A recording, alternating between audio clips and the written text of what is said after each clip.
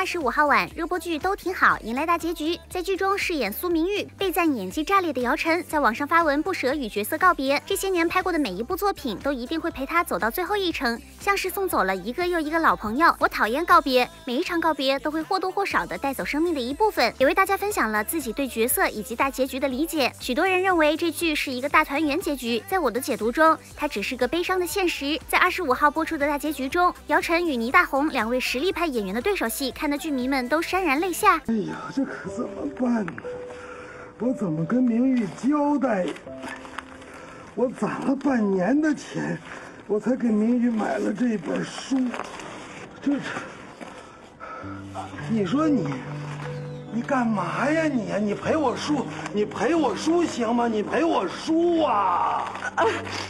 不要了，说我不要了，让回家吧。